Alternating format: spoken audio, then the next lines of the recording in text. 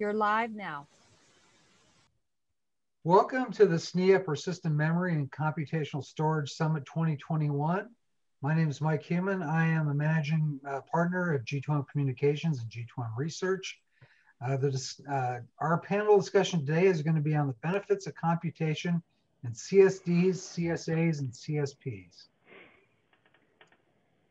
Uh, a couple things on how to participate. First of all, if you have uh, questions, we definitely welcome questions. Just use the Q&A button in Zoom and you can enter your question there. And then we'll address those at the end of the session. Um, and you can also see whether, whether other attendees liked your question. So please feel free to upvote your question or, or upvote your friends' questions or downvote the people that, that aren't so nice to you if you want. Um, we'll try to get as many of the questions answered as possible. And you can also connect with the panelists via the Slack channel during the event. And we'll have a post summit evaluation survey. We definitely like you to fill that out if you get a chance. So, you know, if you think about uh, what we're going to talk about here, I'll get a little bit more detail on this, but computational storage really introduces a variety of interesting questions. Uh, we've got a variety of uh, experts here. We'd like to talk about some different facets of computational storage. What are some of the barriers to adoption? How can customers approach those and where does it go in the future?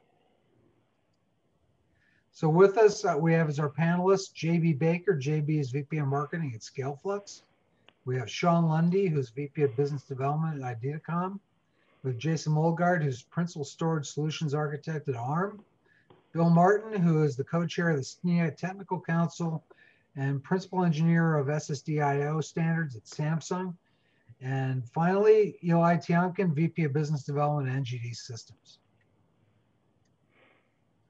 If you want to find out more about computational storage, uh, and computing and memory, you can go to any of these sites here.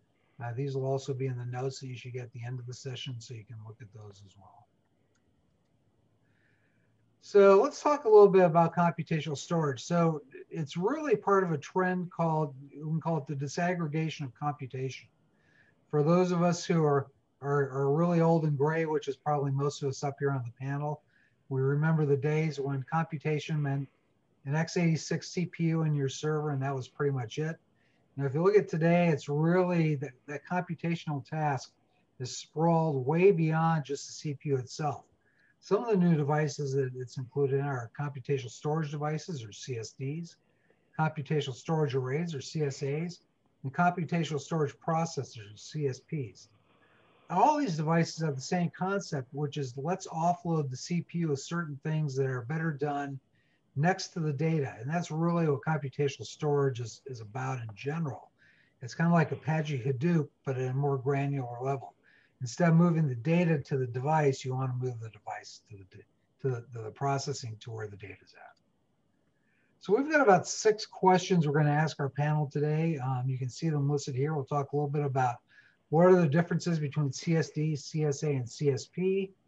Why are there so many different form factors and what, what are the uh, what are some of the rationales for those? What are the use cases and pain points that computational storage uniquely solves? What are some of the barriers to adoption? How can customers approach these to successfully adopt computational storage? Uh, and then a little bit about um, some deployments that each of our different uh, panelists have actually been involved with and some of the benefits of those deployments to the customers. And then we'll talk a little bit at the end before we go to the Q&A about where does computational storage go in the future? especially related to GP GPUs and AI and EPUs and things like that. So with that, let's go ahead and get started with the first question. I'll leave the question up for a second, then I'll, uh, I'll stop sharing my screen.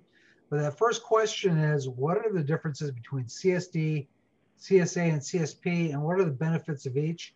And we'll start with JB Baker at ScaleFlux, and go to Sean Lundy at Eideticom, then to Jason at ARM, Bill at Samsung, and Eli at the end. And for each question, we'll rotate the order so everybody gets a chance to be first. So go ahead, JB, and take it over.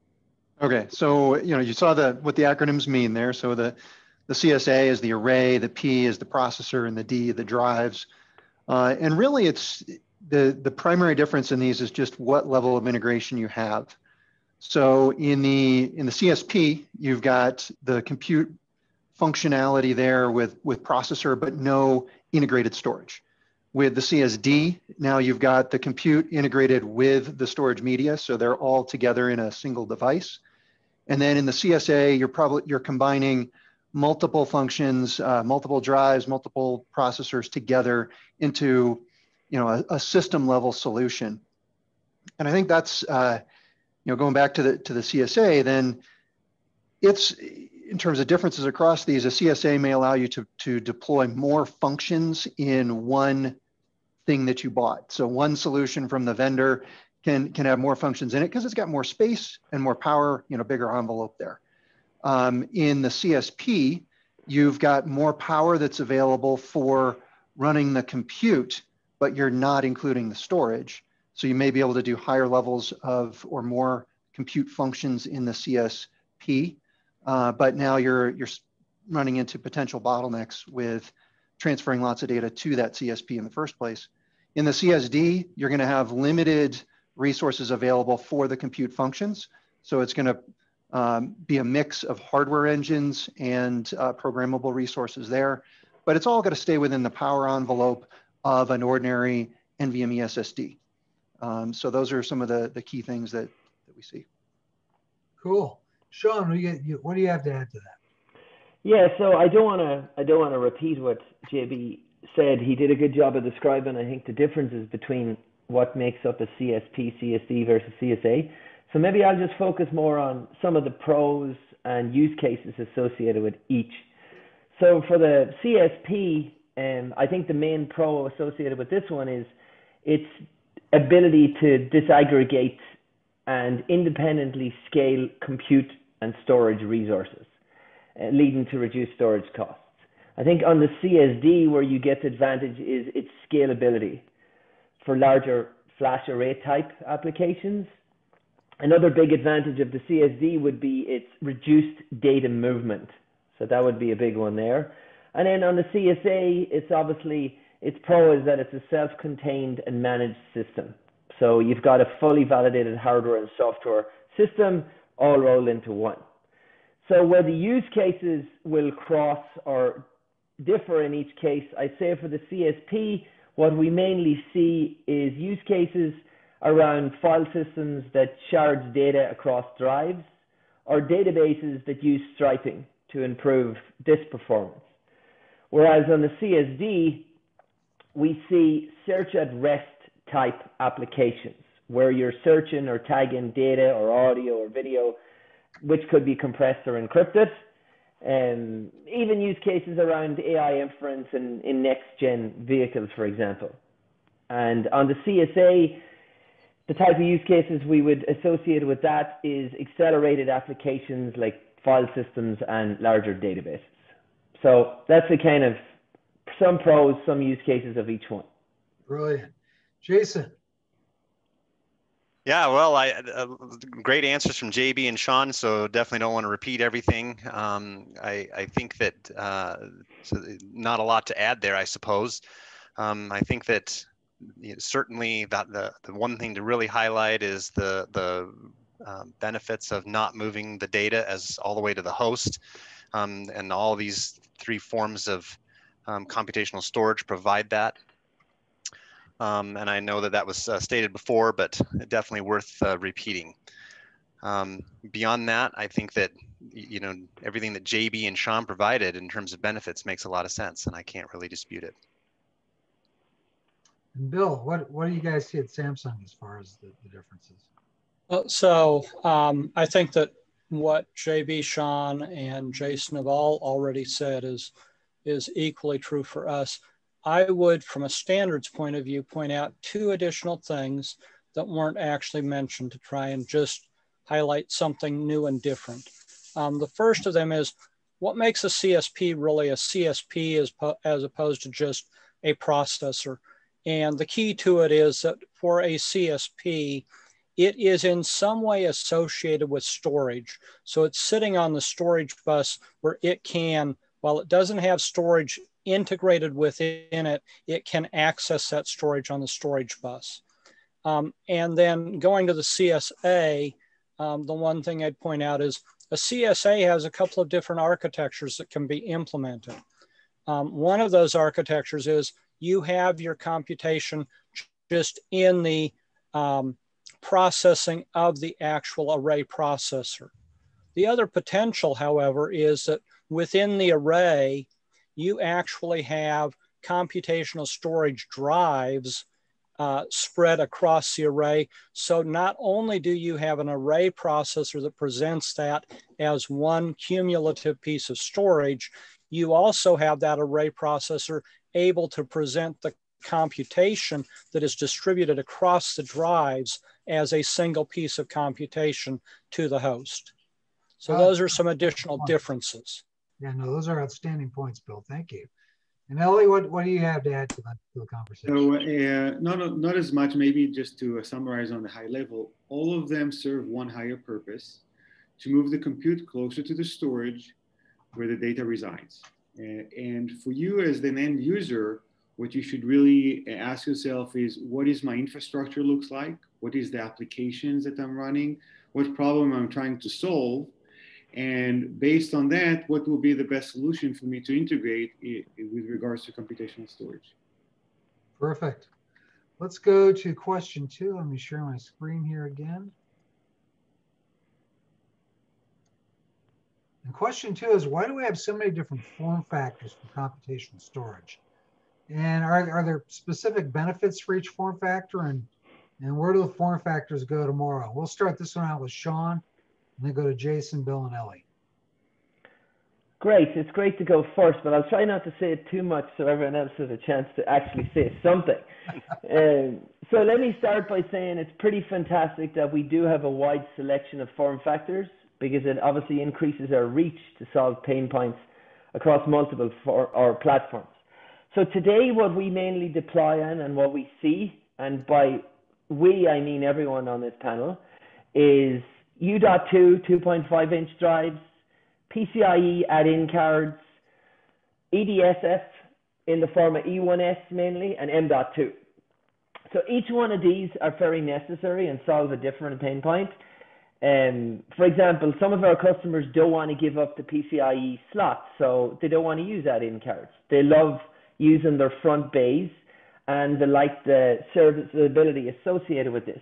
Whereas other customers love half height, half length add-in cards and the extra computation associated with that form factor. I think in terms of future, I think what we're going to see is probably a bigger role for EDSFF. So not just E1S, the ruler and other types of form factors around EDSFF. Um, I think another important cross point will be how CXL may use similar form factors, and I expect to see some product overlap here. No, that so makes I'll, perfect sense. Makes perfect sense. Jason, what, what yeah. do you see at ARM? Great. So I agree with a lot of the points that Sean made, um, particularly the last one on CXL. I think that's going to be interesting to see where that goes and how that plays in with some of these form factors.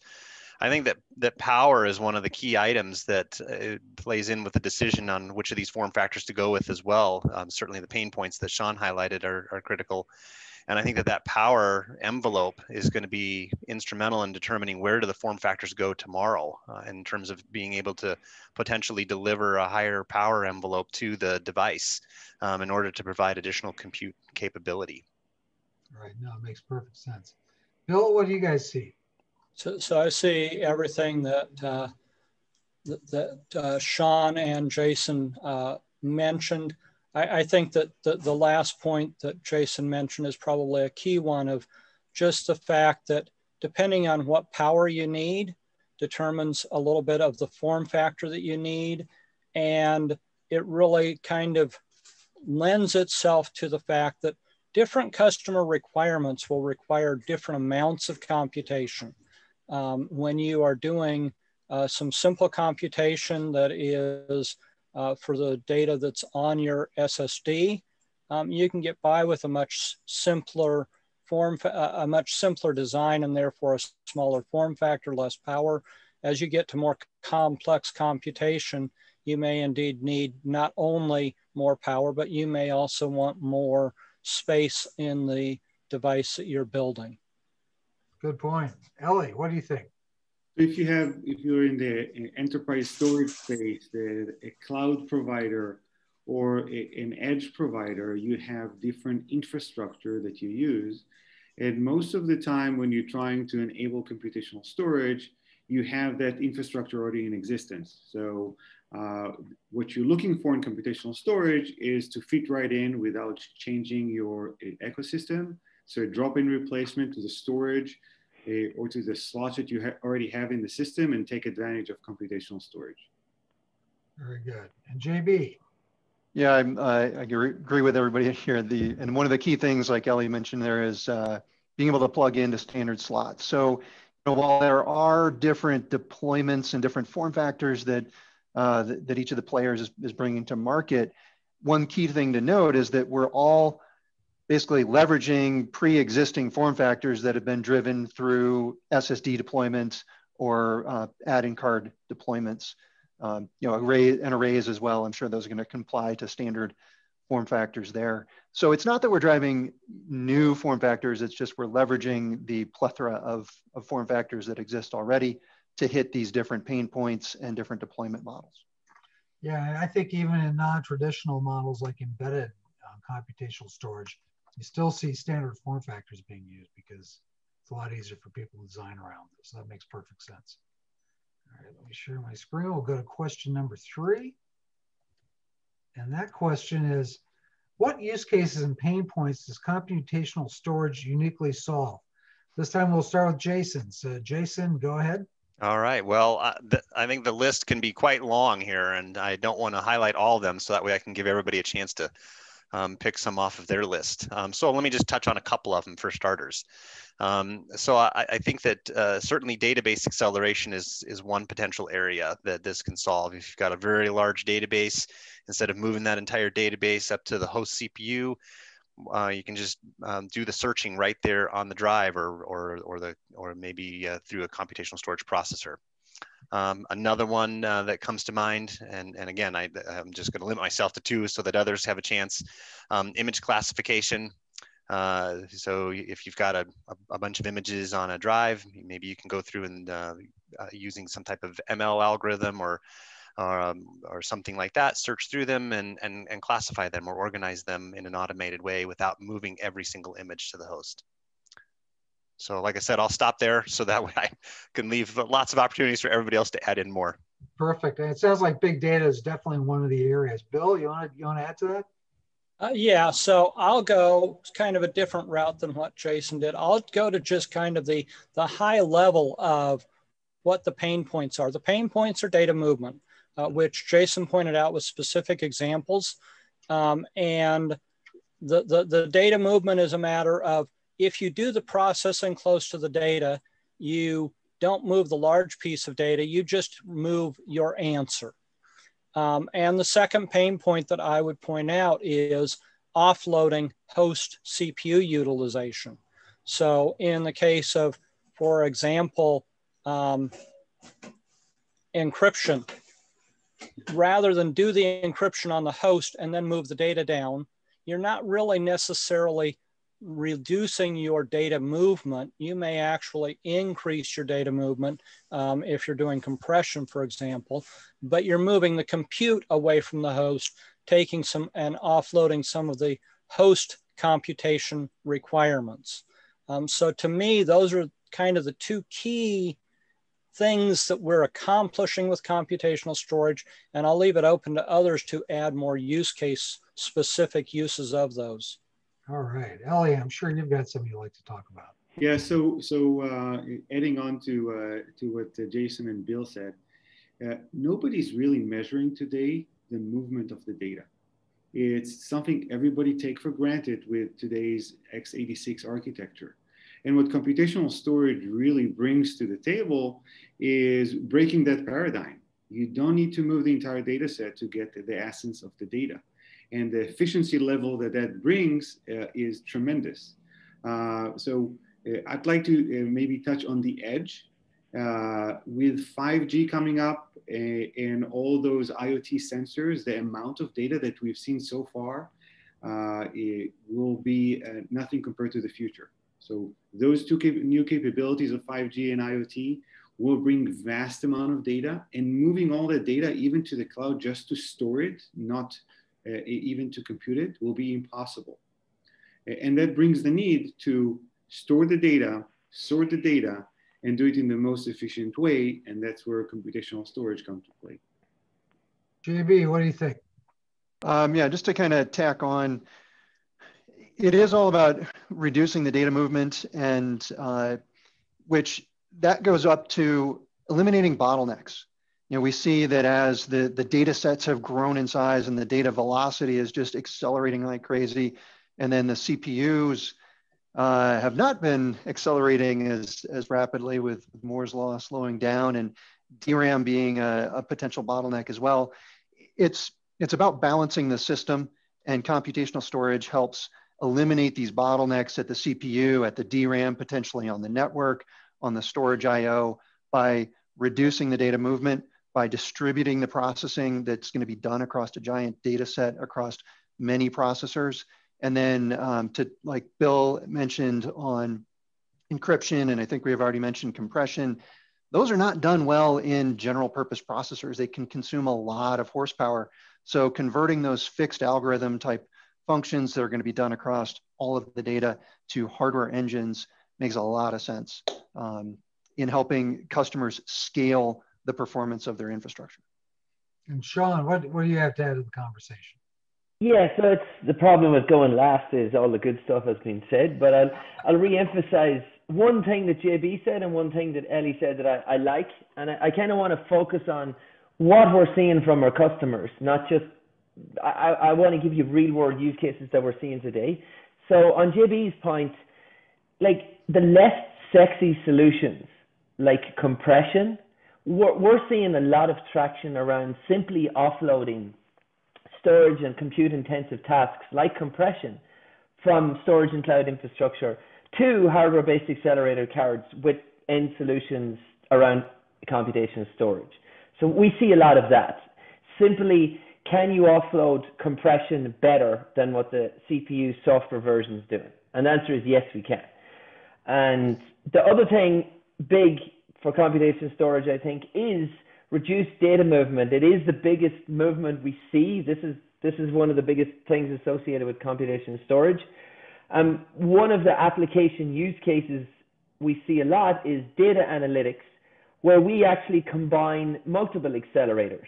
So compression, decompression combined with regular expression to, to do some sort of search at rest type operation. So that's, that's, that's a big one for us. And then the one that was mentioned initially, we can't get away from it. Database and application acceleration, things like Hadoop, RocksDB, Postgres, MySQL, these are huge pain points that computation storage will, will solve much better than anything that came before it. Yeah, it, the whole conversation reminds me of a number I saw a couple of years ago, I think it was, and obviously it's only getting worse. And that was 40% roughly of the energy used in a data center is moving data. It's not doing compute on it, it's actually moving the data. So, you know, and anything you can do to reduce that certainly pays off in multiple ways. So let's jump to question four. And question four is what are the barriers to adoption for computational storage and how should customers approach these? And Bill, we'll go ahead and start with you for that one.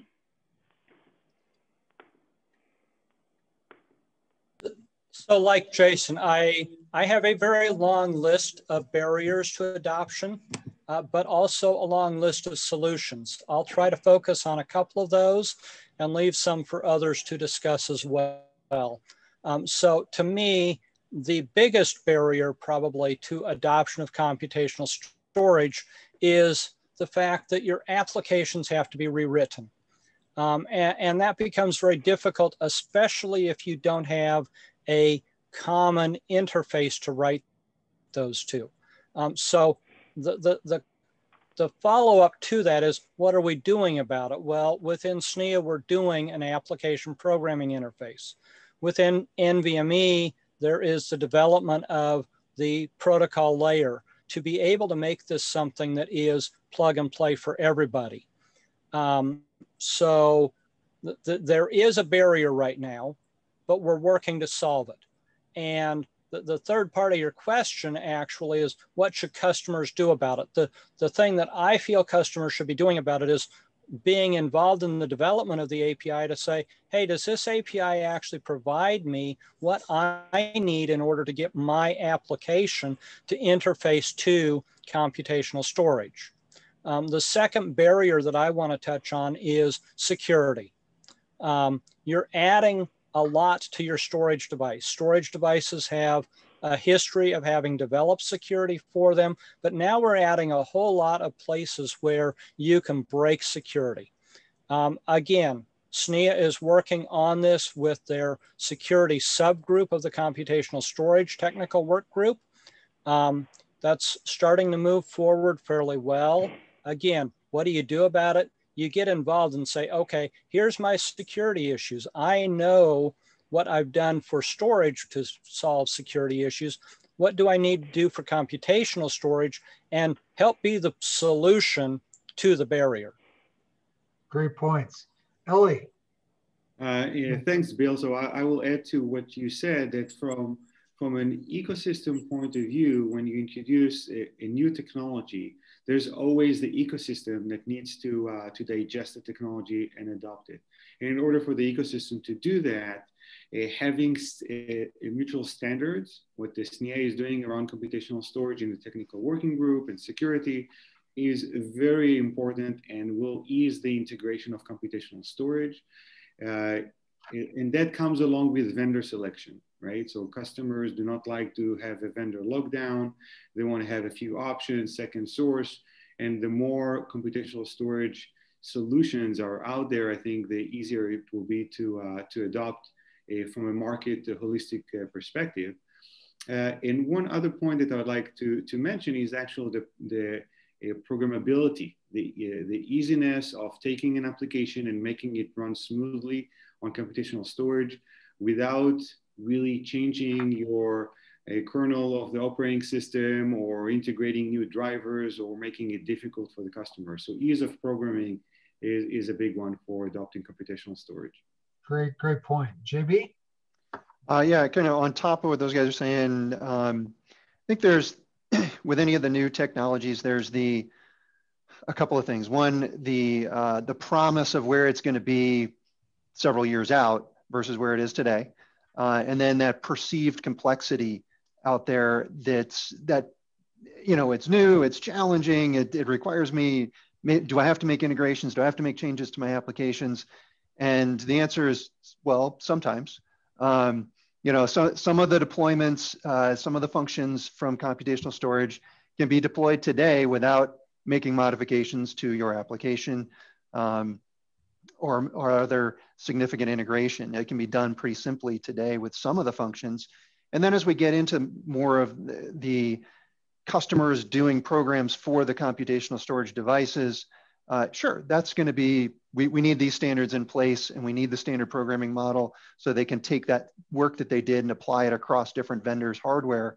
Um, but it's a, you don't need to wait for that, right? You can start deploying computational storage and getting a lot of the, advan- the, the benefits today. Uh, and then these more nuanced and uh, broad or additional uh, benefits you can deploy as, as the standards and ecosystem come out. And, and certainly open source makes that better, right? I think that's always a good point. Sean, yep. uh, what, what have you guys seen with your customers?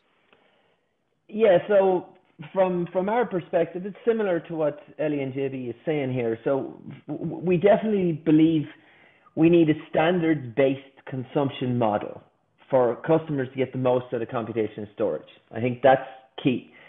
So at Eideticom, we, we actually designed our accelerators and software stack around NVMe from the beginning. And there's a lot of work going on in NVMe computation storage right now. And I think that's going to help enable mass adoption greatly. And the other point that Eli made that I, I want to emphasize too is the more players involved and the more second source options our customers has for end solutions in computation storage, the better. Because what we're seeing is commodity and GSM folks not liking computation storage sometimes because they don't have a second source on the table to beat us up on pricing, for example. So we, we, we need more. So more more startups, more companies, come on into computation storage. We we, we welcome you. better to have a, a small piece of a big pie than than a the whole whole of no, of no pie, I guess. Exactly. And Jason, what, what yes. Well, let me first start by uh, touching on the one item that Bill had mentioned on security. I'll use it as an opportunity to put in a shameless plug for a session tomorrow in this same time slot. We'll have a panel on uh, security and computational storage because that is, I think, really going to be a hot topic. Um, and so we, you know, SNIA is working on it, and and and we want you to come help us, if, especially if you're a security expert. Um, that's uh, some something that we we need to solve, and and we're going to solve as as part of SNIA. Um, and then, you know, to, to what Sean was saying, I, I, definitely agree with having more. I think that it, uh, along with that, open source software uh, and open standards uh, are, are really going to help make that the, the, adoption more palatable for everybody, for all the, uh, the consumers of computational storage. And I think that that if everybody kind of gets on board with that, and and lots of people come along, uh, then it's going to become easier for everyone to adopt. Perfect. So, so, so, let me jump in and add one last thing to what uh, Jason just pointed out. There was also a, uh, a, talk earlier today that you can go back and look at that talked about security and computational storage. So as you want to focus on that, you may want to look at that as well. Outstanding. Very good point. Uh, let's go to the next, the last question. That is, can each of you talk a little bit about a computational storage production deployment that your company has been involved in, some of the benefits that your customers saw that, that were uniquely enabled by computational storage. And Eli, we'll go ahead and start with you on this one. All right, finally on the first one. Uh, so I, I, will talk about uh, uh, two different uh, examples, deployment of the, uh, uh, the computational storage devices by NGD systems, and both of them are at the edge. the first one is autonomous vehicle. So as you know, autonomous vehicle collect a lot of information to uh, in order to improve the machine learning algorithm of, of these cars. And uh, NGD were able to uh, uh, work with an autonomous vehicle a, a, recorder company that actually collects the data. So uh, the data is collected on a daily basis, and that data is enhancing the machine learning of the entire data set that is being collected from each one of the autonomous vehicle uh, cars that are on that fleet. And as the amount of data is massive, the, uh, the ability to sort it as the data is being uh, recorded and, and sorted out is as being a tremendous uh, advantage for, for the customer uh, by reducing the power and compute that needs to be applied to the data once the data is moved to a central location uh, cloud. So it's the first example. Yeah, uh, Edge is a good good one. That's a good point. Yeah, this, the second one really came from an from an unexpected source. It's also a, a sort of an edge uh, compute deployment, and it's actually low Earth orbit small satellite. So the last place you think of seeing computational storage come to play. And uh, NGD was selected by the, the US uh, uh, Space Force uh, to demonstrate capabilities of self-autonomy and cybersecurity in small satellites.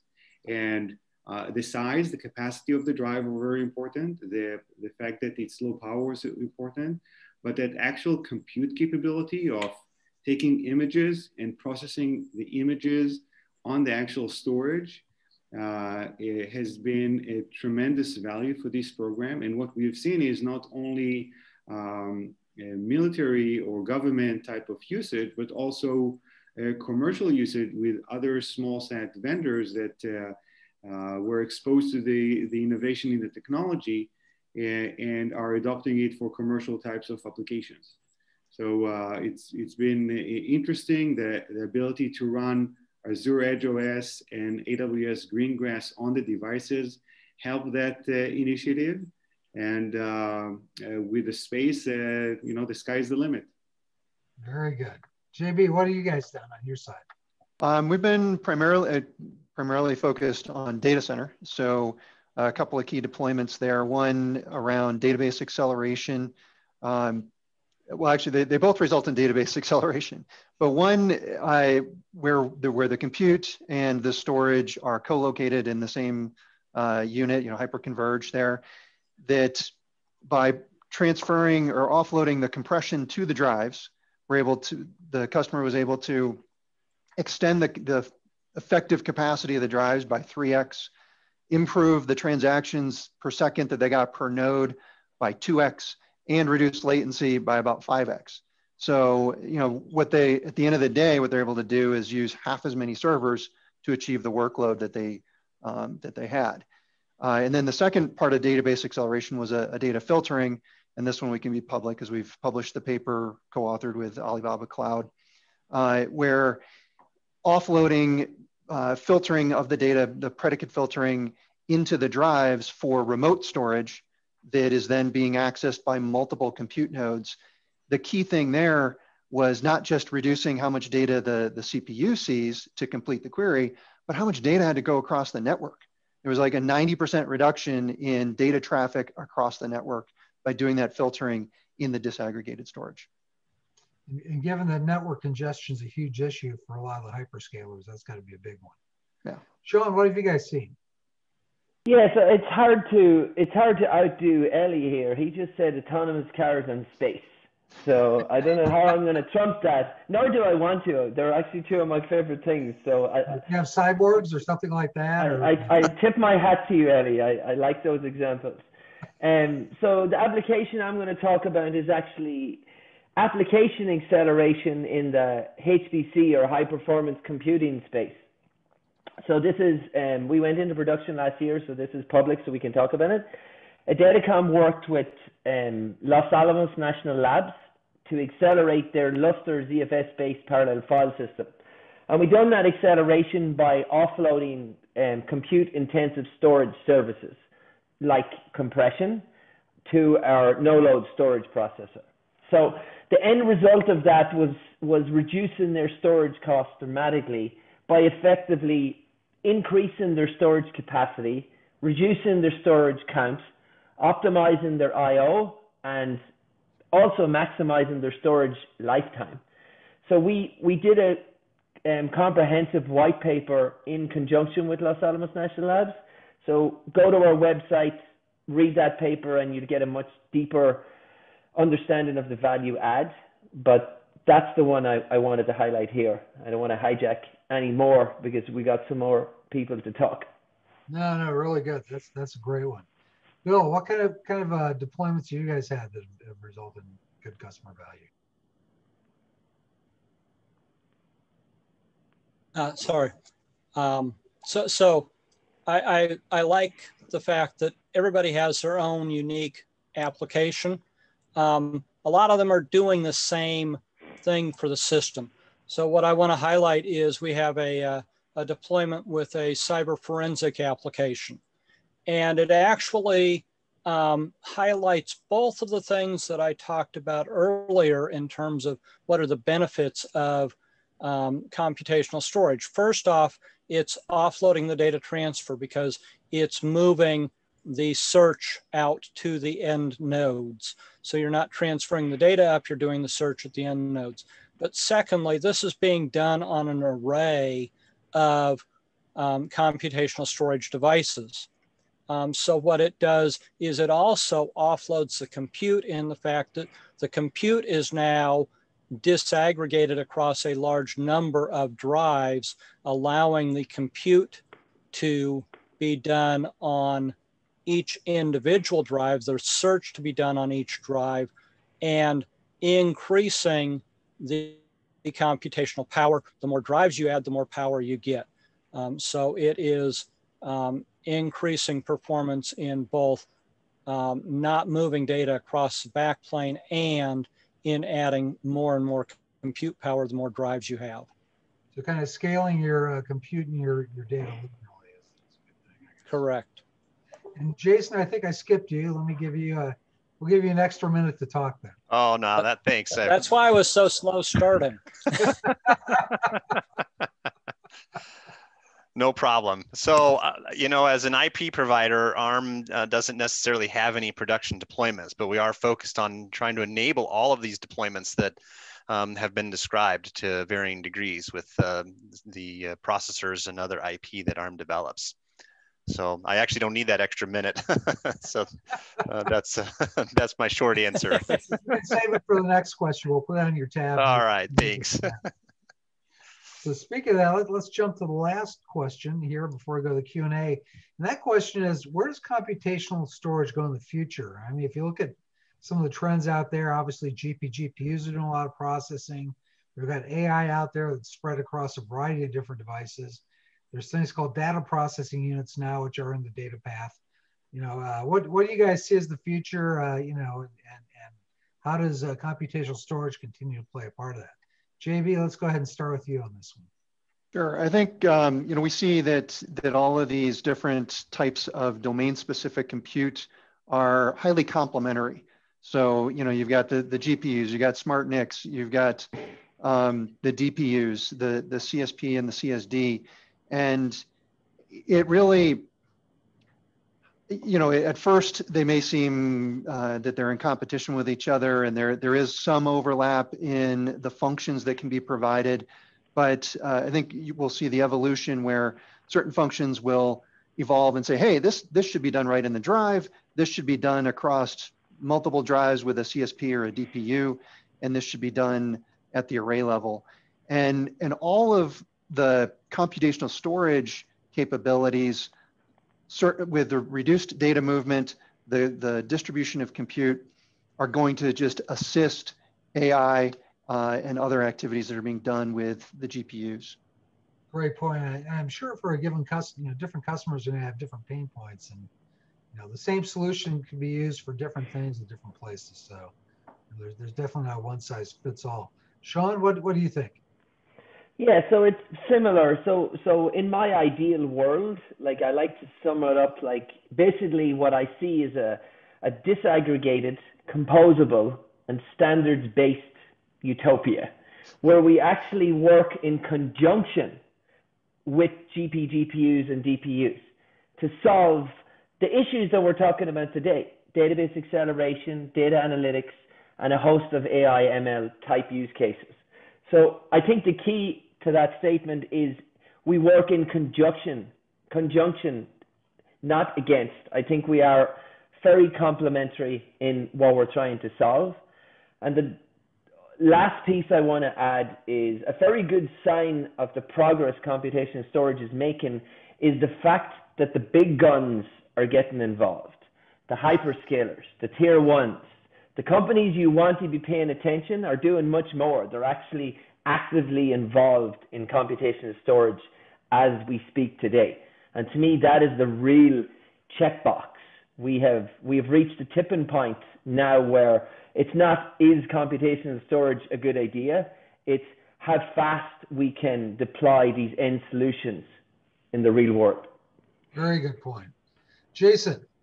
Yeah, so I definitely agree with it that all these different technologies can play together, and I think that that the key is going to be to figure out exactly which compute should happen on which of those types of devices. And then and then uh, uh, allocate that um, computational task according to where it needs to be um, uh, deployed. And and it may even be that the answer is that it's split where you do some function um, on a, a, gpu for example and you do some of it on the the csd um, assuming you had both in a system or, or whatever combination of, of compute resources that you have available to you. No, that makes a lot of sense, especially if you think about problems like encryption, right? Where you want to do it many places in the system. So right. A lot of sense. Um, Bill, what do you what do you guys think? So, so I agree with everything that's been said. Um, I think that the key here is that each of these technologies um, has its place. It's not that one thing fits all. Um, and even when you come to computational storage, there are certain things that are done better in a certain type of computational storage than in a different type. Um, for example, uh, compression may be done very well based on an FPGA based type of computational storage, but a database search is probably much better aimed at a uh, CPU architecture of that computational storage. So even when you get into what we're calling computational storage today, there's different types of processing that you do, just like you do different processing with GP GPUs, uh, different processing with smart NICs or DPUs, um, and whether those are the same or not is uh, kind of up for debate. But they each have a have a role in this, and they all need to work together. Makes perfect sense.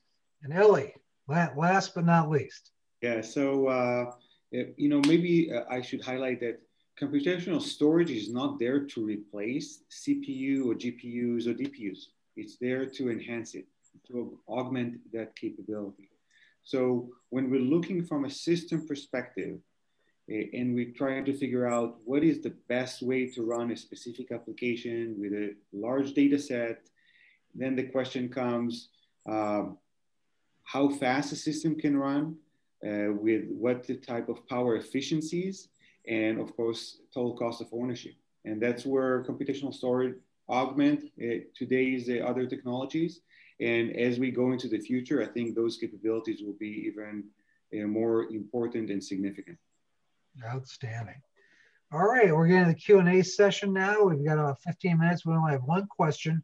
So you can each take a couple minutes on that. And this time we'll switch the order. We'll start with Eli on it. But the question is, have you considered any potential corner cases where CS could possibly cause performance degradation or induce regressions in data center architectures because of its speed and offload? Usually there's some danger that comes with all the good. I guess it's like when your CPU got faster and all of a sudden you can't run certain applications on it anymore. But Eli, why don't we start with you? Uh, do you have any examples of something like that or? Yes, I, actually I do. So we have computational storage does not solve the, you know, the entire problem. It's not, uh, uh, it, there, you, you, have to consider the, uh, the infrastructure and application in order to apply it. So for example, if you have a very large data set, but you only use uh, one CSD or two CSDs, where the, uh, they have an ARM processor in, or a few ARM processor in each, then the, uh, you're not going to uh, increase the system performance. Uh, you need to take advantage of distributed processing so computational storage will actually make an impact. And we have various examples of, you know, servers that are running the same type of, let's say, let's say, uh, gzip de decompression, uh, where the more drive you add, the more impact computational storage is now having both on, on, on adding the performance and reducing the power because now you don't have to move as much data to the host CPU to run that same compression. Uh, so in order to uh, enable computational storage, the data set's got to be large. And I know large is a very relative term, so maybe I'll refine it. It has to be large in comparison to the memory that you have in that system.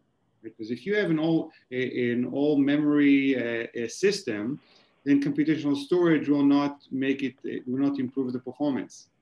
But with the system where you have a large data set that reside on the storage, and the amount of memory require you to move that data in chunks in order to scan through the entire data set. Now adding computational storage to take advantage of distributed computation makes sense. Is there a, is there a good ratio that you can think of for that ratio? Is it like 10 to 1 or 20 to 1 or? The larger the data set, the better. good, good answer there. That's a rule of thumb. There you go. Okay, Bill, what, what do you want to add to this one?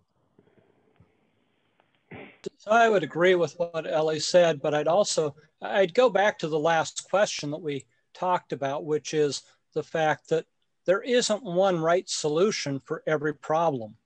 Um, you, you need to look at what is your problem and then figure out what is the right solution. And computational storage plays a role. And if you don't do your system architecture in such a way that you determine what is it that I can achieve with computational storage? Uh, yes, you will break the system. Um, for example, if you have a computational storage device that does really great at doing encryption and compression, that same device may not do well at doing a database search. And vice versa, if you have something that does well at a database search, it's not going to do as well at um, encryption or compression. And so one of the things we're looking at is the possibility of having different types of computation on a single computational storage device so that you can decide which type of engine do I need to use in order to do my computation. Very good point. Obviously, if you just, you know, remove one bottleneck and it just opens up another one, that really doesn't help either. So that, that makes a lot of sense. Jason, what do you guys think? Yeah, I, I agree with everything that's been said. Um, it, computational storage doesn't solve every problem, but it is part of the solution. And I think that you have to carefully consider what is the problem and how, what role does computational storage play in that solution versus some of the other technologies as, as Bill had highlighted from our previous question. Sean, I'm sure you have something to add to this discussion. Well, I, I would I, I would feel left out if I didn't say something. so I, I, I would I'd like to tie it back to actually question number one when we started talking about CSP, CSD versus CSA. So I think one of our roles um, in this is to identify which one of these is appropriate for the customer's use case, because that also feeds into how good the solution can actually be. And it also goes down to what Jason said there is scenarios, and we've seen this in POCs where computation storage is not the right answer.